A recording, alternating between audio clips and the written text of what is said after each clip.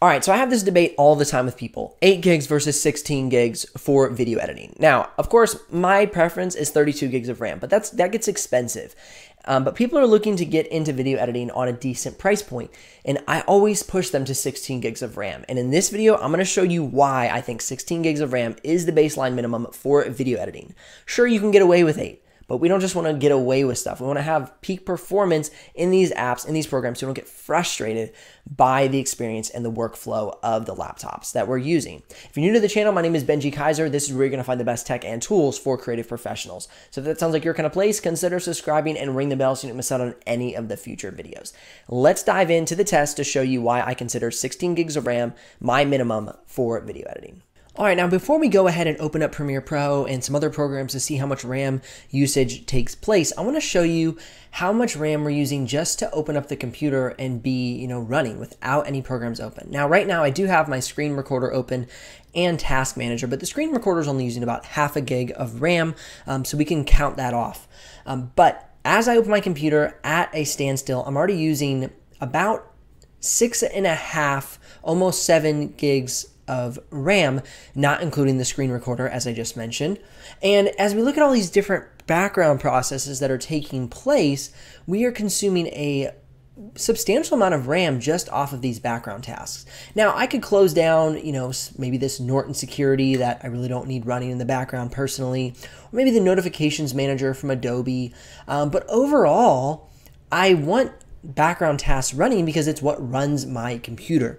And so if you're not super technically savvy, uh, kind of like myself when it comes to these sort of background processes, I'm not really going to know what to shut down. I don't know what necessarily should be running in order to make sure my system runs smoothly. And so just that alone, like I said, we're starting off at about 7 gigs of RAM. So just to run the computer, we're almost out of RAM, which is why my recommended 16 gigs of RAM for video editing to me is important to consider. That is, unless you're a background processes master and know which ones to shut down. And in that case, please comment below and instruct us on what to do in this case. Um, but here we go. We're just going to open up Premiere Pro now and take a look at how much RAM usage happens just from opening the program. All right, so now to open up Premiere Pro, it looks like we're going to be using a little bit over half a gig of RAM. Now I'm going to go ahead and open up a project and click play in the timeline to see how much we use at that point. All right, as we open up a project, we're now to about two gigs of RAM usage. Now I'm going to click play in the timeline and see how much we go up to from there. All right, as we click play and it starts to spool up, I'm seeing we're using about two and a half gigs of RAM and we're heading up slowly towards three gigs of RAM usage. Okay.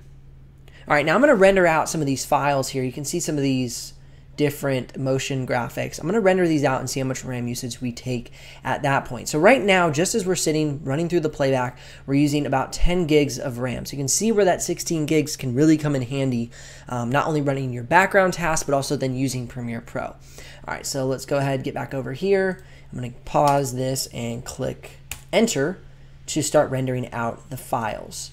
And now as I'm starting to render out the files, we're seeing obviously a lot of CPU usage, um, but then look at this, how much RAM we're using to render out these files. About 10 gigs of RAM alone. Um, this is a 1080p project, so this isn't 4K, and we're rendering out motion graphics right now, and this timeline is about a 20 minute timeline.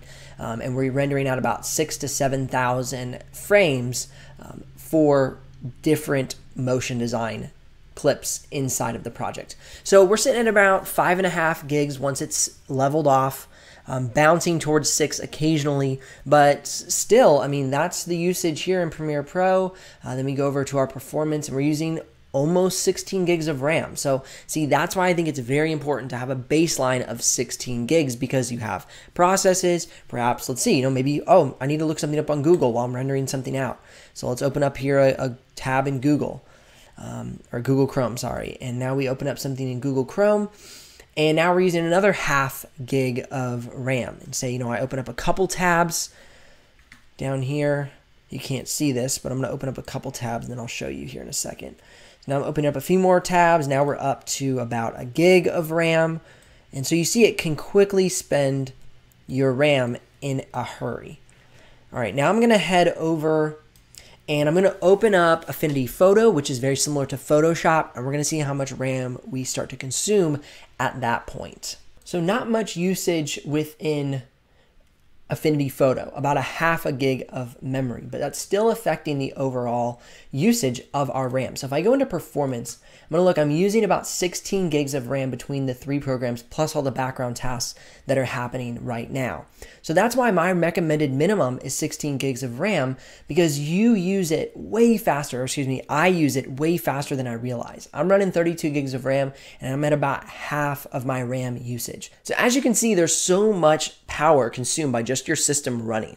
And so as soon as you start adding programs on top of that baseline RAM usage, you're going to see it stacks up rather quickly and you're going to be easily consuming 8 to 10 to 12 gigs of RAM if you have more than one program open at a time. Like I said, if you only want to have Premiere Pro open, you might be able to get away with 8 gigs, but it consumes it rather quickly and your system will slow down and it'll really frustrate your workflow. I hope this video has been helpful. Again, I have some laptop recommendations in the description below. If you do make a purchase through one of those links, I will get a small commission, but at no extra cost to you. And that's what keeps this channel alive and the helpful content coming your way. I'm Ben G Kaiser, and I'll see you guys here on the next episode.